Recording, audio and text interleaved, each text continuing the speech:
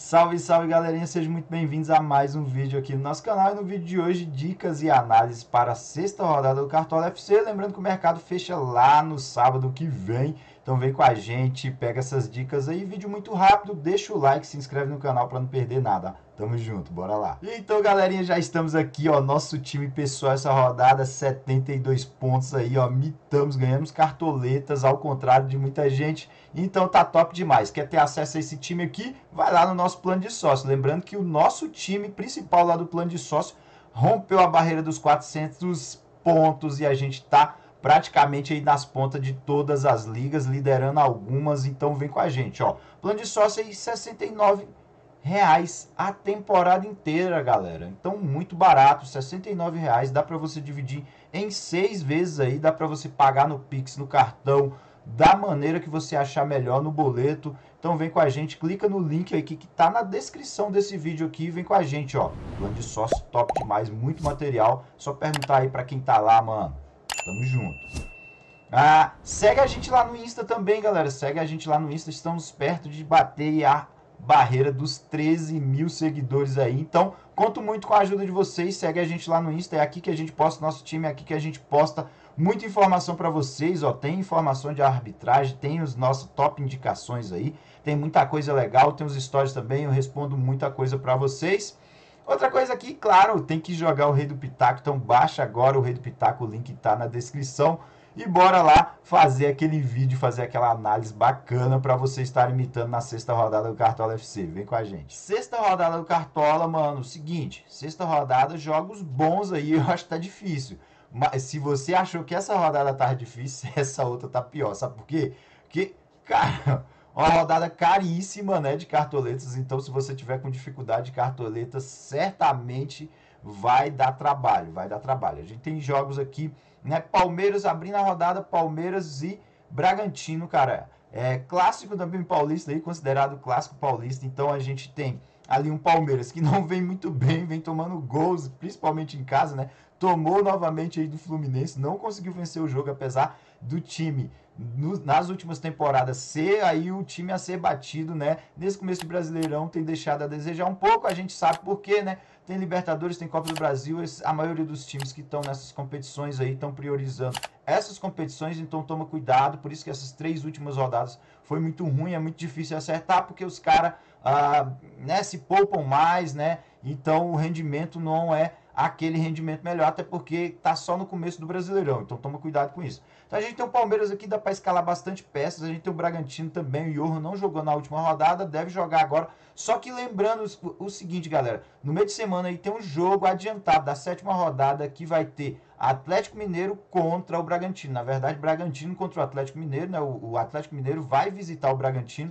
E aí, para quem está em dúvida, o Hulk joga sim, tá na próxima rodada contra o Atlético Goianiense, vai descansar e porque está suspenso, vai cumprir suspensão nesse jogo da sétima rodada. Vou até mostrar para vocês aqui, ó. Vai ser nessa quarta-feira aí às 20h30, né? Então, Bragantino e Atlético Mineiro e esses, e esses times aí tiveram seus jogos, é, é, se eu não me engano, adiantados, adiantado não os da Copa do Brasil atrasados aí, então vai ser em outros finais de semana aí os jogos da Copa do Brasil, eles vão jogar pelo Brasileirão.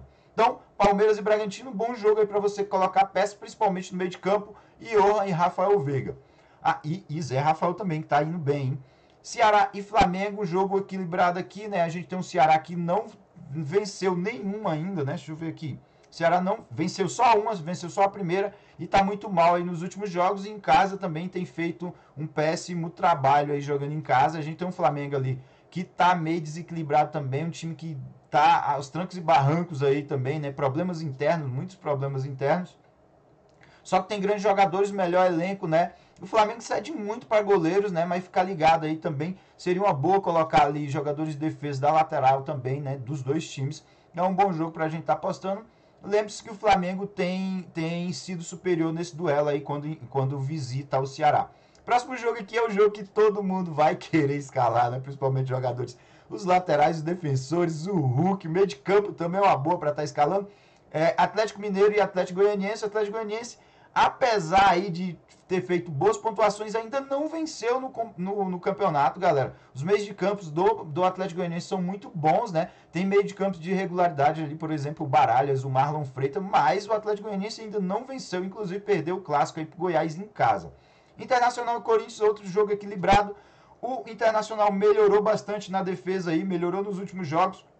E vai enfrentar esse Corinthians aí, que por incrível que pareça, galera, já tem três SGs na competição aí. Segurou mais um fora de casa. É o líder da competição, então não é um time que você possa subestimar, tá? É um time que tá, tá conseguindo evoluir aí. A gente tem um Internacional que também conseguiu evoluir. Na última empatou aí contra o Juventude fora de casa. Juventude que não ganha de ninguém também, né?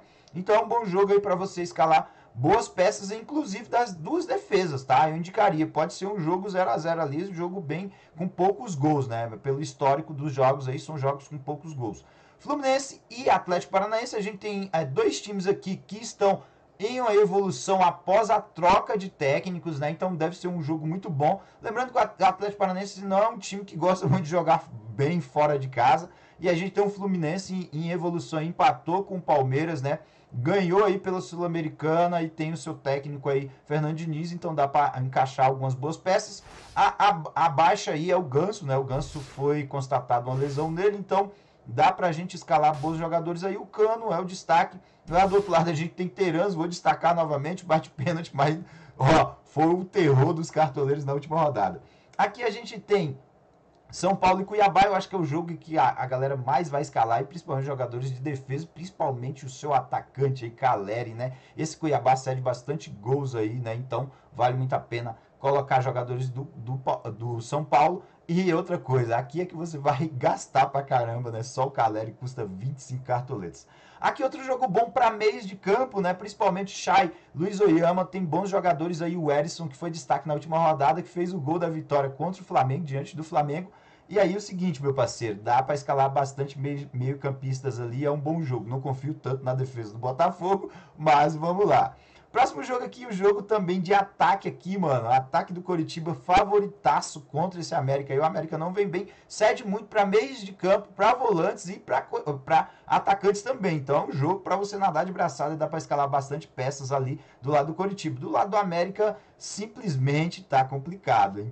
E a gente tem Havaí aqui, o Havaí tá bem na competição, vai pegar esse Juventude aí, que é um dos piores também no campeonato, não venceu nenhuma. Ah, é um bom jogo para atacantes também, destacaria os atacantes aqui do Havaí que vão bem, né? O Juventude cede bastante aí também nas laterais ali, então vale a pena. E aqui o, o time que mais cedeu gols para atacantes aí contra o time que mais fez gols no campeonato, que é o Santos, né? Então vai ser um jogo legal. Lembrando que o Goiás tem feito confrontos duríssimos aí em casa, né? Por exemplo, empatou contra o Atlético Mineiro, empatou contra o Palmeiras e pode aprontar para cima do Santos, mas o Santos é superior na minha opinião, o Santos evoluiu bastante, então bora lá escalar o nosso time aqui, lembrando, meu parceiro, que vai ser braba aí com as cartoletas, segue a gente, galera, a gente tá bem aí no campeonato, infelizmente o time do canal aqui, a gente fez algumas invenções na última rodada, não foi tão bem assim, mas cara, ó, segue o nosso time pessoal aí, time pessoal que você tem acesso lá no plano de sócios, né? Fizemos mais de 72 pontos, lideramos algumas ligas aí, ganhamos ligas com esse time.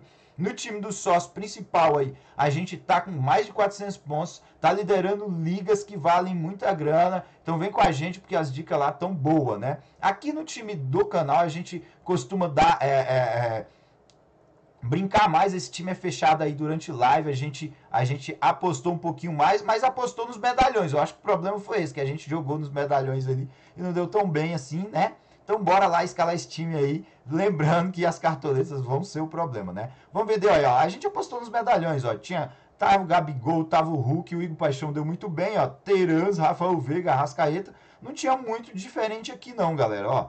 Né? O problema é que o time não pontuou bem. Então bora para cima, vamos vender esse time aí, né? Deixa eu vender todo esse time aqui. A gente vai começar a escalar aqui no nosso Guru do Cartola. Lembre-se, baixa agora o, o app do Guru do Cartola, porque aí tem valorização, tem muita coisa boa para você.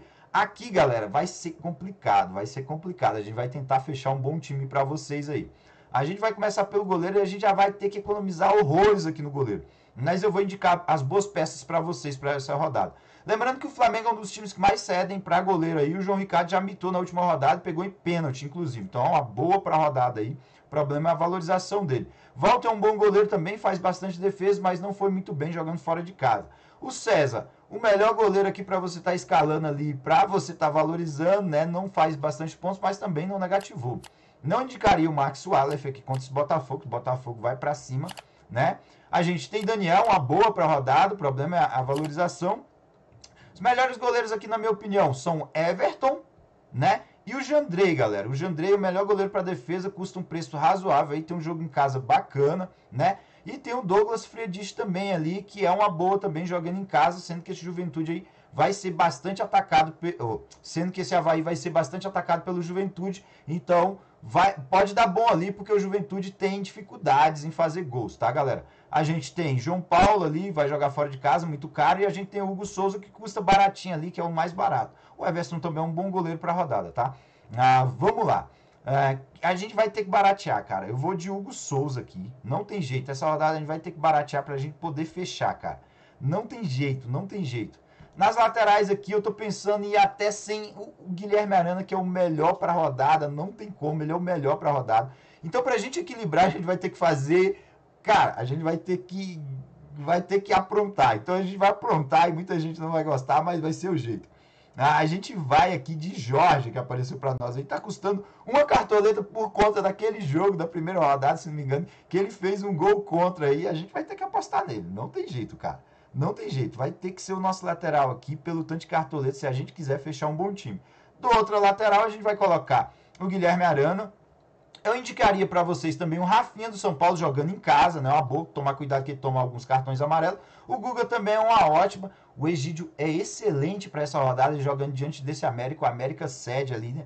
O René também contra o Corinthians. O Corinthians cede bastante para laterais, né? Então, verificar aí é uma boa para a rodada.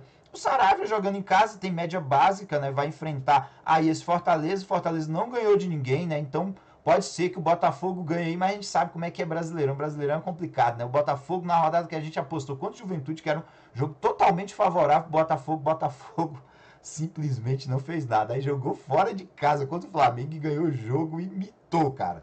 Então não tem como, não tem base um trem desse, cara. Eu indicaria ainda o Bustos, né? Uma boa para a rodada. A Vinícius eu não acho uma boa, porque a questão de valorização pesa bastante. Rafael Ramos, gosto bastante nesse jogo aí. Fábio Santos por bater pênalti, se for jogar. Daniel Borges, interessante para a rodada. Bruno Pacheco, que é uma ótima opção aí, tem um cara, o cara que mais desarma, um dos laterais que mais desarma, é uma boa também, só que o problema é o jogo contra o Flamengo. E eu acho que é isso aí, galera. Ah, vamos lá.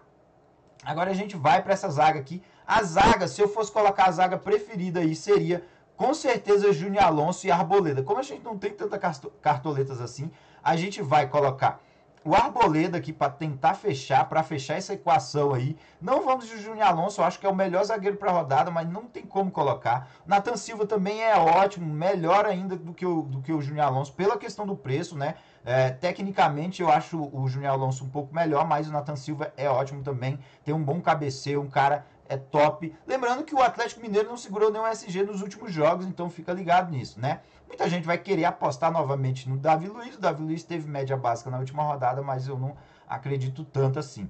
E a gente tem o Murilo aqui mais uma vez para a gente colocar ele para ele fazer o um ponto. Hein?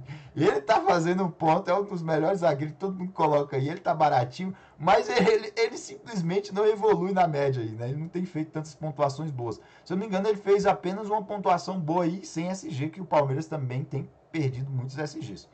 Indicaria aqui o David Braz também para a rodada, pode ser uma ótima aí, custa seis cartoletas, né? O mercado ali, o problema do mercado é que ele faz muitas faltas tomar amarelo. Vitor Cuesta, ah, tem esse jogador aqui, o Bressan, cara, mas eu gosto desse jogador aqui do Juventude. Rafael Foster tem uma média básica excepcional, cara.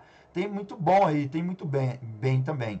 Ah, aqui, galera, deixa eu ver aqui quem dá para indicar mais. Muito difícil indicar outros jogadores aqui uh, jogando fora de casa. Tem o Gil que custa aqui, só que está muito valorizado, mas o Gil vai jogar fora de casa também. Então não vejo como uma, uma ótima, excelente opção. A nossa segunda opção aqui poderia ser na Murilo. Murilo, uma boa. David Braz. E eu indicaria aqui outro, eu acho que é esses dois, cara. Eu ficaria entre esses dois, Murilo e David Braz. Ah, qual que custa mais?